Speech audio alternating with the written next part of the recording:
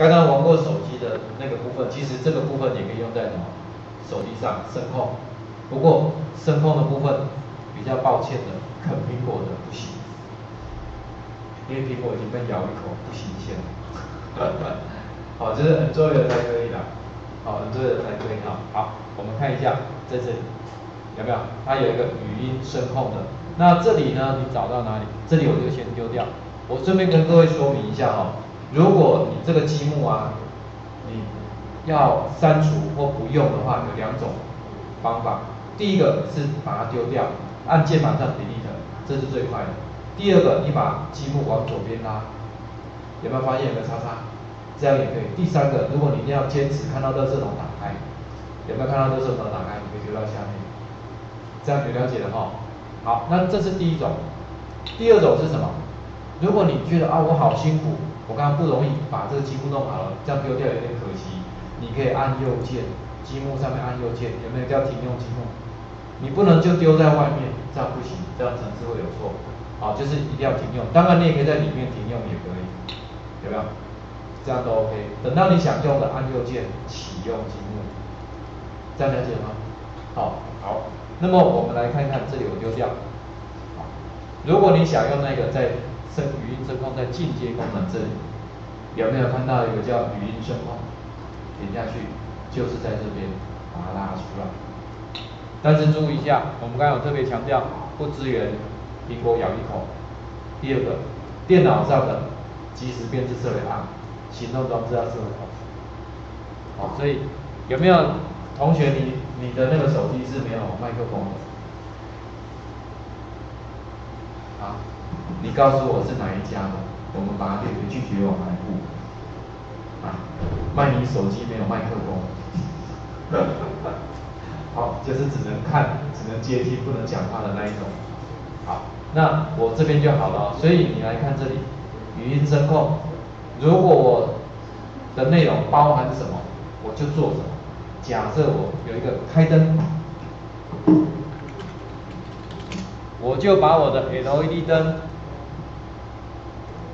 ，LED 灯把它设为啊，这样可以接受吧？对不对？好，相对的。请问积木可不可以复制？可以，按右键有没有复制？好，Ctrl 加 C，Ctrl 加 V 也可以。所以我在这边关灯，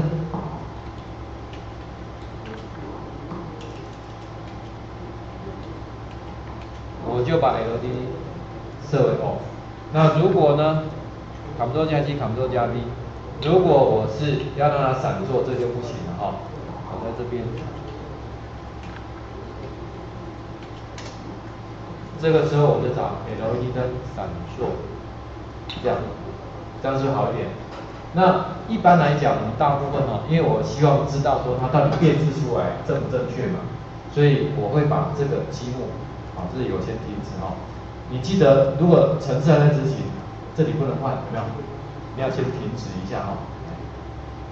好，这里我把它换成显示文字，显示文字就是我希望把变质的。它到底变质到了是哪一个语音的命令显示出来？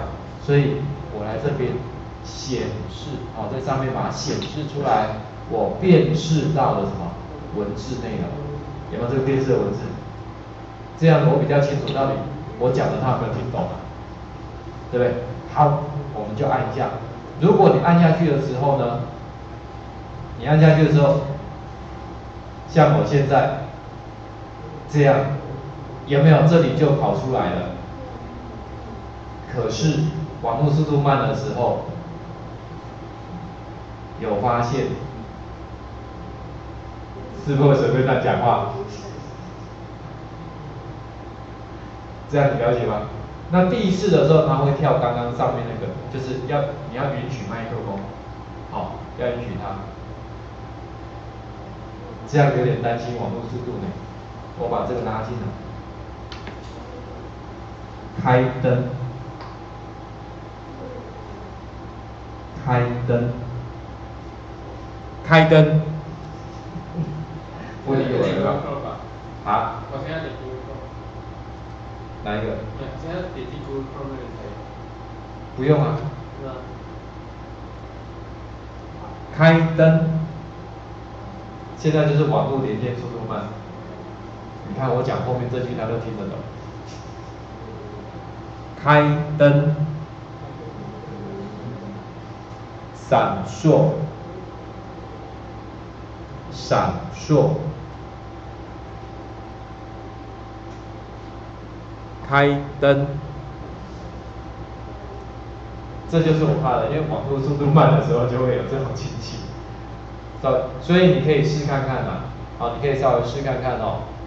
那原则上就是你要允许它，好，要允许它。当然你是用苹果的就不行，好，用苹果就不行啊。所以有这个，还有一个，你如果用电脑里面的，你这里有一个小技巧稍微注意一下，就是我们那个喇叭有没有？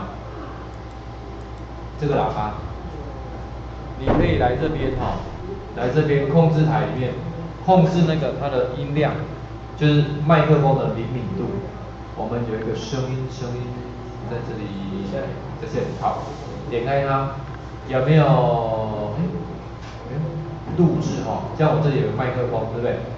点进来，你就可以等级你要调高一点，不然你的麦克风灵敏度会比较差。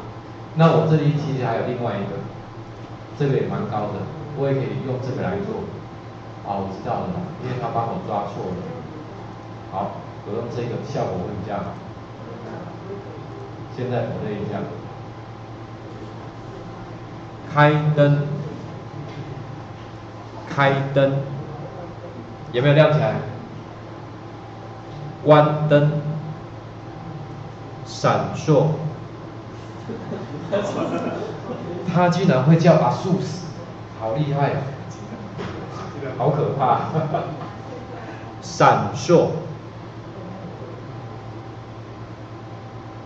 关灯，所以你看那个麦克风有没有差？有了哈，因为他刚刚抓到的是我投影机的这个实物投影机的这个麦克风，效果比较差。我前面这个效果比较好。开灯，开灯，开根，这样子开根嘛哈，开灯。